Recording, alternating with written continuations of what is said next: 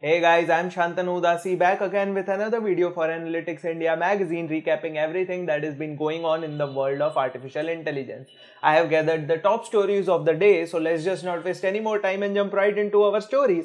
Our first story is that artificial intelligence and automation's paradox. More human talent needed to reduce the need for human talent.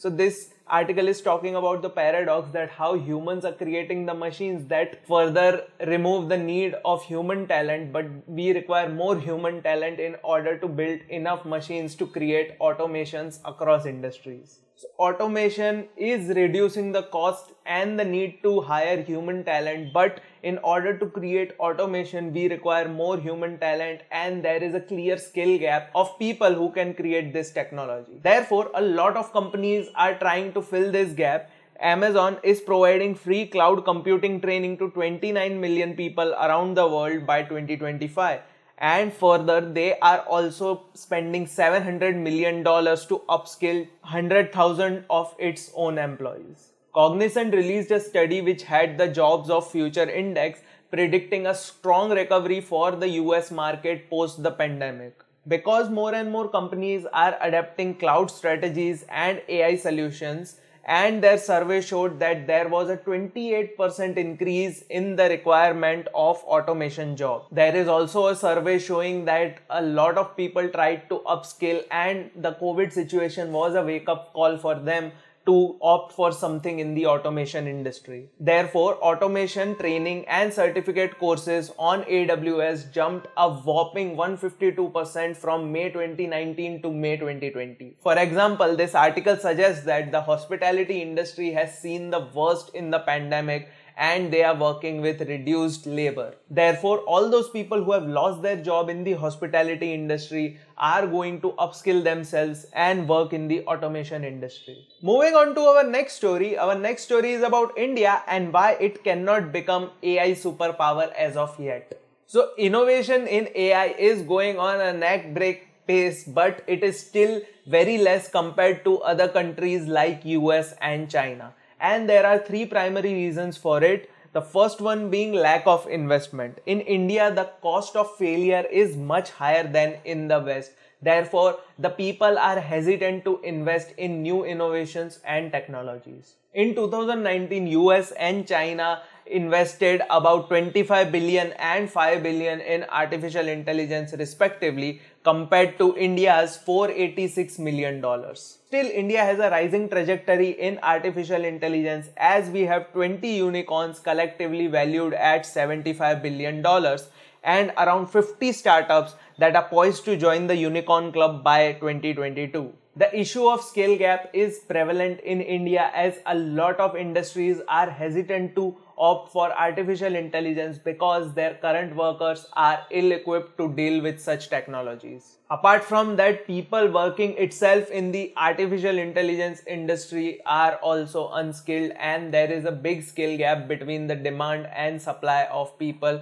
willing to work in the artificial intelligence industry. However, now many institutes offer AI related and technologies courses and have seen huge demand from people and a lot of companies in 2020 also offered a lot of free courses about AI encouraging more participation. So we will also need a lot of robust government policy in order to develop and deploy artificial intelligence in large scale in the entire country. So as soon as we sort out those three reasons, India is on the way to becoming a new AI superpower, but it has a long way to go. Moving on to our next story. Our next story is about the Google I.O. and the AI language that they announced at Google I.O. But this time we are talking about the murky ethics of it. So Google's announcement of this AI language which is far superior than any AI language we have ever seen was the centerpiece of their I.O. event while ignoring the fact that they themselves have been accused of censoring the critics of these AI languages.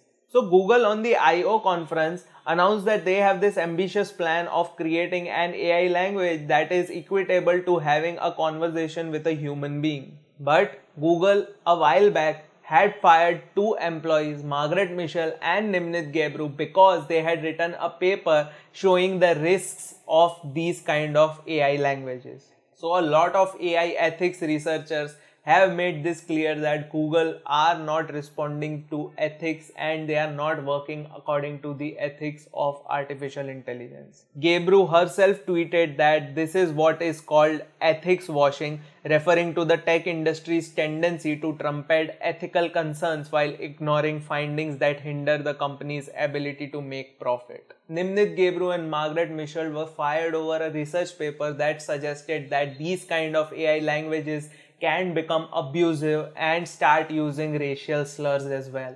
After all this, Sundar Pichai outlined how Google's AI models would always be designed with fairness, accuracy, safety, and privacy in mind. So, Google has not instilled any confidence in its consumer base or the AI ethics research community as people are still scratching their heads how their privacy, safety, and integrity will be secure by these kind of AI language models. So The Verge were able to get an official comment by Google AI chief Jeff Dean.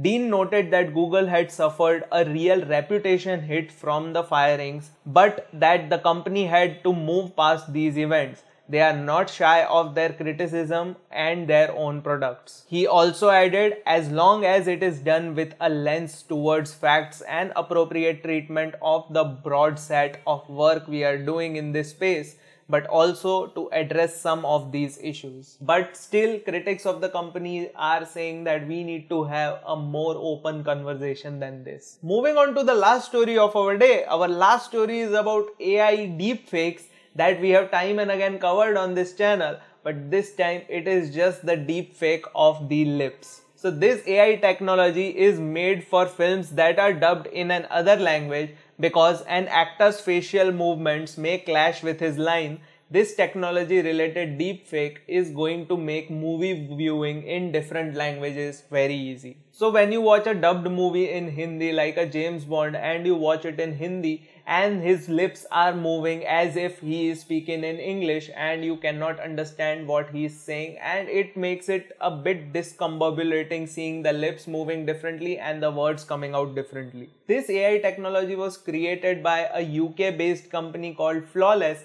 which is co-founded by the director Scott Mann who said he was tired of seeing his films dubbed poorly. He said that the dubbed version of his films takes out the context of the entire scene and makes the scene unwatchable or demerits the artistic value of the scene. What this technology basically does is it takes the 3D imprint of the actor's face and it also takes the 3D imprint of the voice artist's face and merge them together so that you can have the actor having realistic lip movements of a particular language.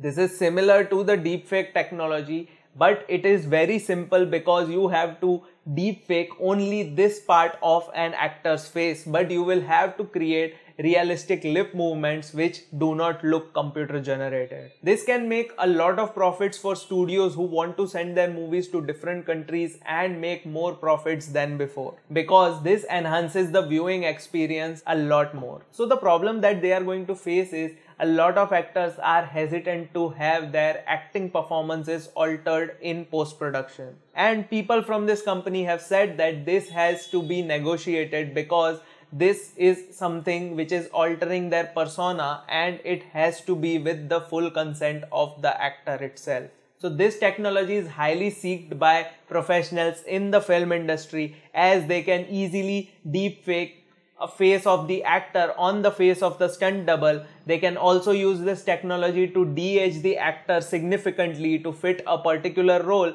and now they can also alter the lip movements to remove the problem of additional shooting because if they have to change the dialogue they can just do it in post rather than shooting the entire scene again. So they are comparing this technology with the CGI generated effects which were very hot in the 2000s. Now face swapping and deepfake technology is highly sought after by the Hollywood studios. So that's about it. Those were all the stories that I have for you today. If you enjoyed this video, click on that thumbs up. That really helps us a lot. I highly recommend you read all these stories in their entirety. Links for them will be in the description down below. And while you are at it, click on that subscribe button and ring that notification bell so that you never miss any other updates from Analytics India magazine.